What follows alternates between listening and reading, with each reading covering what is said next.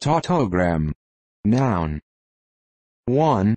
A text in which all words start with the same letter, but not necessarily the same sound.